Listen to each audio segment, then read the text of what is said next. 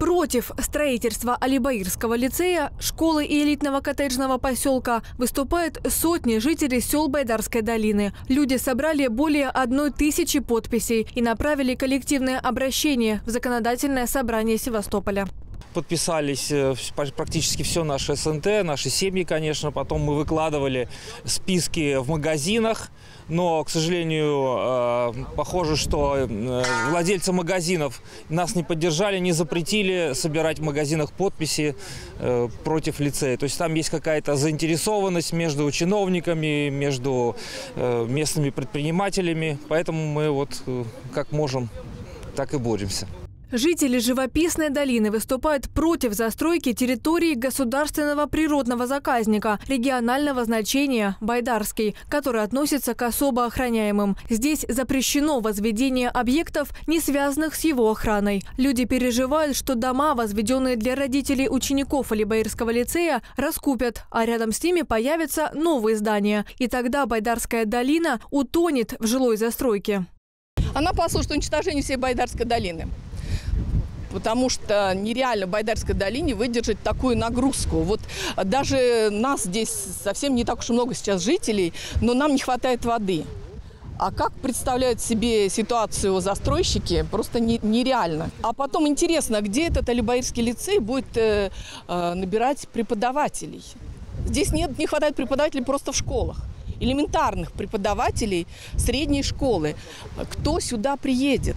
Местные жители уверены, после постройки Алибаирского лицея и относящейся к нему инфраструктуры, а это общежитие для учащихся, спортивный комплекс с бассейном, театр и школа искусств, а также общественный центр, проблема нехватки воды в Байдарской долине будет ощущаться в разы острее, чем сейчас. К тому же пруд Туристский, вода из которого шла в колодцы жителей, специально осушили почти два года назад для ремонта плотины. Люди предполагают, что такое промедление могло быть связано с планируемой застройкой этой территории.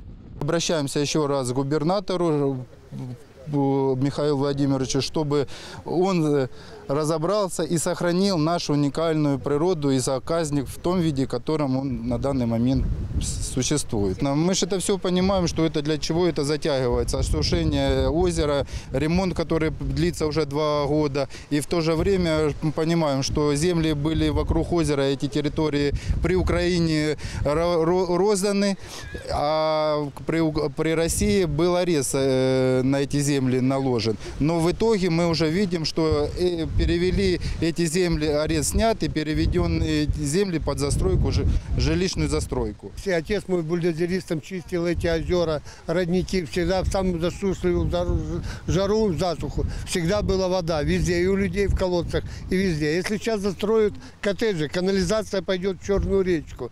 А вот даже возле больницы сейчас пройти невозможно, канализация не работает. А представьте, что здесь будет это будет, они дома поставят быстро, а канализацию быстро не сделают. Все стоки попадают на гидроузлы города Севастополя. Как до сих пор севастополицы не возмущены. Любая какая-то критическая ситуация, типа каких-нибудь заболеваний, холеры и так далее, то пол Севастополя может получить большие неприятности.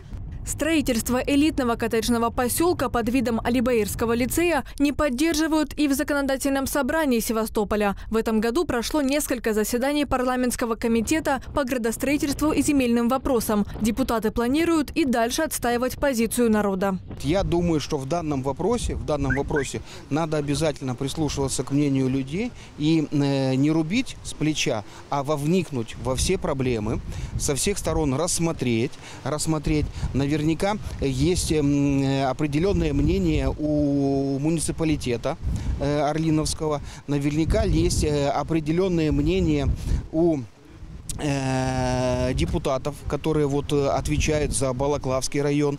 Вот, наверняка есть определенная позиция правительства. У жителей Байдарской долины позиция одна – не допустить застройки родной земли. К тому же значительная часть территории находится в водоохранной зоне Чернореченского водохранилища, единственного источника питьевой воды для всего Севастополя. А попытки каким-то образом застроить Байдарскую долину будут сопровождаться не только падением капитализации тех строений, которые у жителей есть в Байдарской долине, потому что это будет означать ухудшение жизни людей, которые живут в Байдарской долине. Это будет означать еще одну угрозу для водоснабжения Севастополя. Депутаты законодательного собрания, ну, в случае, известные мне, все на стороне жителей Байдарской долины. Потому что вопрос водоснабжения Севастополя, а Байдарская долина – это сейчас водосбора э, Черноморского водохранилища, это вопрос просто ну, жизни и смерти. Вячеслав Горелов рассказал, что на основании обращения жителей сел Байдарской долины депутаты направили письма все в Природнадзор, Департамент по имущественным и земельным отношениям, а также в Департамент архитектуры и градостроительства местного правительства, чтобы при подготовке проекта генерального плана города чиновники обязательно учли точку зрения местных жителей. Председатель профильного парламентского комитета заверил, что первым делом при анализе и утверждении документа в законодательном собрании обратят внимание на функциональное зонирование Байдарской долины.